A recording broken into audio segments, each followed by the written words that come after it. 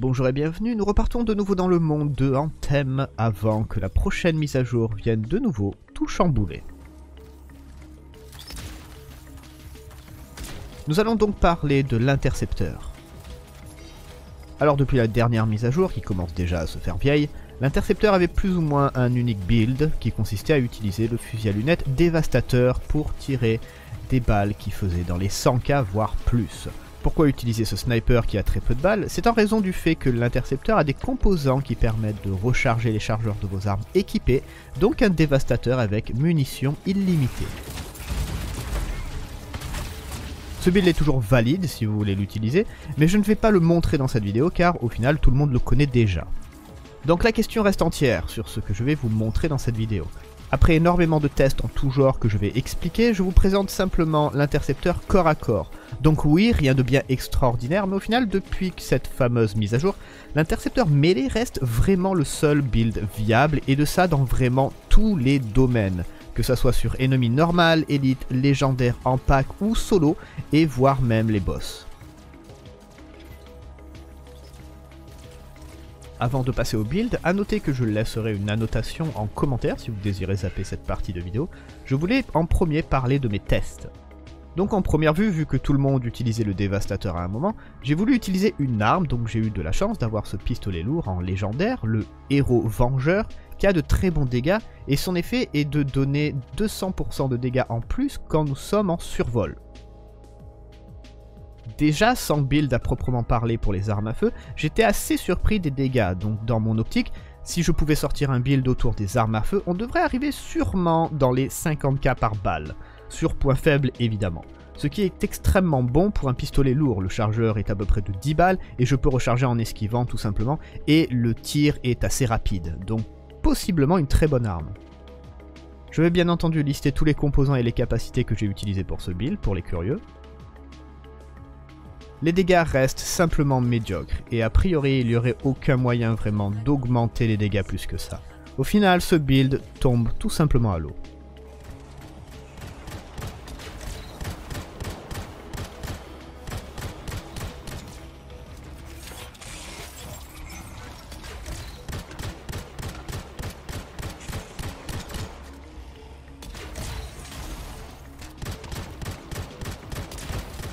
Maintenant, la deuxième chose que j'ai voulu tester, c'est l'aura.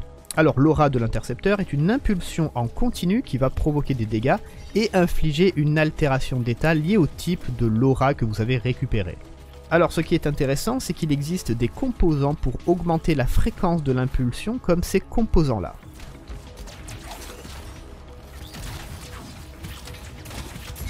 Donc j'ai utilisé ma version magistrale et épique pour doubler l'effet. Nous arrivons donc à plus 80% sur la fréquence d'impulsion.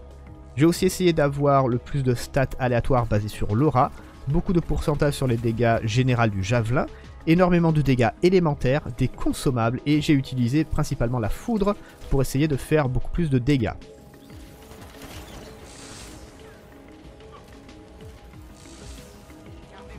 Comme vous le voyez, le résultat est tout simplement une catastrophe, surtout quand on regarde le genre d'équipement que j'ai récupéré pour essayer de faire fonctionner tout ça. Donc encore une fois, un build qui passe simplement à la trappe.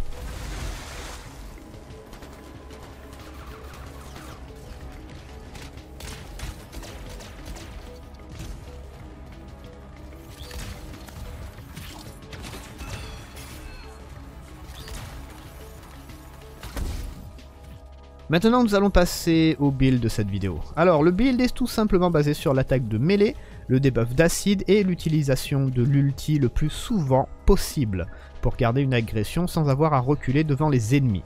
Ce build marche du tonnerre en pick-up GM2, vous pouvez plus ou moins solo la forteresse entière. Un peu comme le build du colosse que j'ai montré dans une ancienne vidéo, je vous invite à aller la voir si vous êtes curieux. Donc nous allons utiliser un build qui tourne autour de l'acide pour baisser les défenses des ennemis quasiment 100% du temps.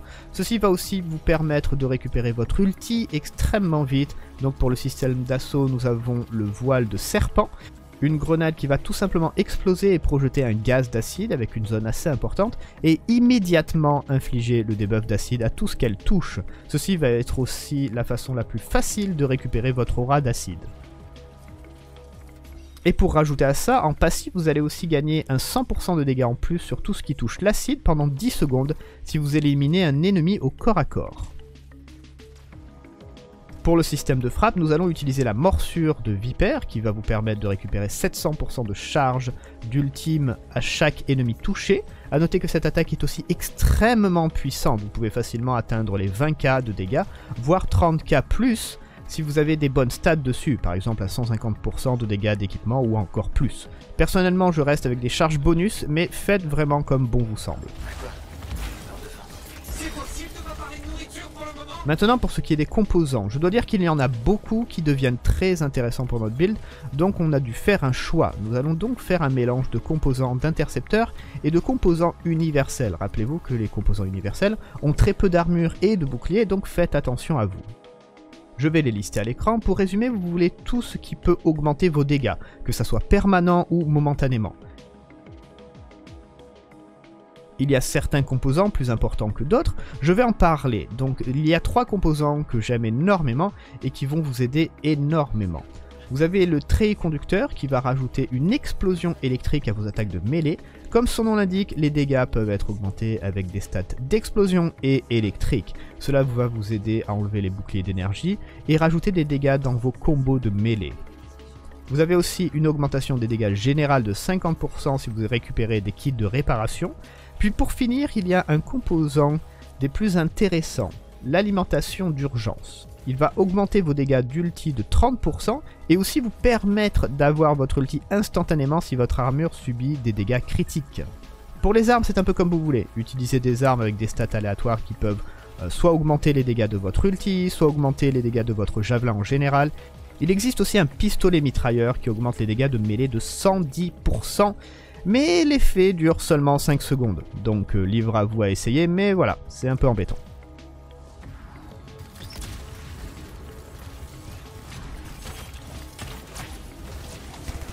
Pour résumer votre playstyle, extrêmement, mais alors extrêmement agressif. Vous allez pouvoir stun lock la plupart des ennemis, les dégâts électriques en plus va vous aider si jamais vous tombez sur des élites ou légendaires avec des boucliers d'énergie assez importants. Votre ulti devrait monter aussi extrêmement vite et vous devriez toujours avoir un bonus activé qui va vraiment augmenter vos dégâts. Et pour finir, si vous passez un mauvais moment, vous allez aussi avoir le composant qui va sûrement vous sauver la vie et vous donner votre ulti instantanément. Donc au final, vous êtes une vraie machine de guerre.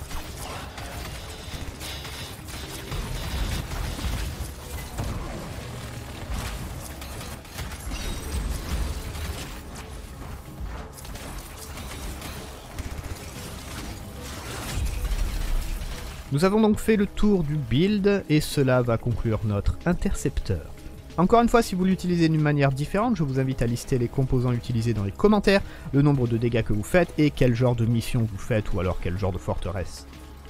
Une dernière note, si vous avez aussi fait des tests sur Laura, car personnellement je suis toujours assez intéressé pour voir si Laura peut fonctionner, de mes tests, euh, c'est une catastrophe, donc j'ai laissé tomber. Mais peut-être que avec des stats aléatoires meilleures ou des choses que j'aurais peut-être pas pensé, euh, ça pourrait être potable. Euh, mais en tout cas, voilà, pour moi, potable, ça devrait être minimum 5000, entre 5000 et 10 000 de dégâts par tick, en fait. et ça devrait pouvoir ticker genre deux fois par seconde pour vraiment rendre la chose intéressante. mais bon, voilà, de bon point de vue, ça ne sert à rien et c'est un peu triste, mais voilà, si jamais vous avez fait des tests de votre côté, que vous avez des meilleurs résultats que moi, mettez-les moi dans les commentaires, je suis assez intéressé de voir ça. Merci beaucoup d'avoir regardé, je vous remercie vraiment tous, surtout pour le nombre de vues que j'ai sur ces vidéos par rapport à Anthem. Je suis assez heureux que euh, des gens trouvent encore ce jeu assez intéressant, euh, malgré tous les problèmes qu'il tourne autour, mais voilà. Euh, merci beaucoup, je laisserai en description tous les liens disponibles de la chaîne, tous les liens intéressants, Twitch, le Discord, etc. si vous êtes intéressés. En tout cas, bonne chance à tous avec l'intercepteur et à la prochaine. Salut, ciao